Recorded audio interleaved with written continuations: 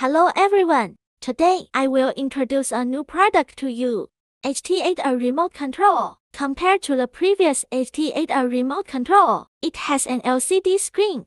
This humanized design not only increases the functionality of the product, it also provides a better user experience. This product is suitable for various scenarios, fixed-wing aircraft, delta-wing aircraft, and on products such as drones. It can also be used in DIY modified cars, on products such as robots and remote lawnmowers. The spread spectrum method of the remote control is FHSS. The frequency range is 2.4 G. The response speed is PWM less than or equal to 20 milliseconds. Remote control ground distance of 400 meters. The aerial distance is 600-800 meters. The voltage of the transmitter and receiver is 429 volt. There are two antennas on the remote control. Below the antenna, here is the gear shift switch.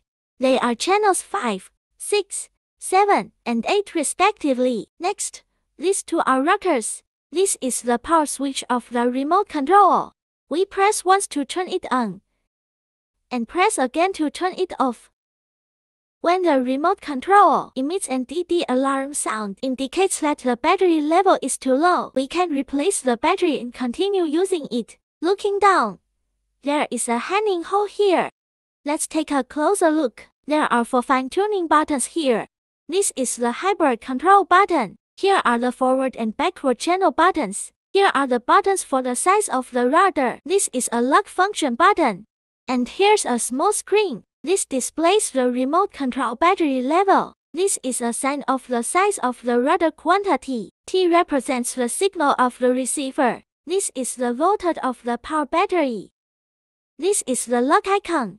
This is the hybrid control icon. This is a simulator below the simulation hole. Here is the battery compartment can directly use for No 5 batteries. It can also be directly inserted into a 7.4 volt lithium battery. This product has seven main functions. Hybrid control function, adjustment function of large and small rudder quantities, positive and negative channel functions, locking function, loss of control protection function, return function, automatic shutdown function. Thank you for watching this episode of video. See you next time.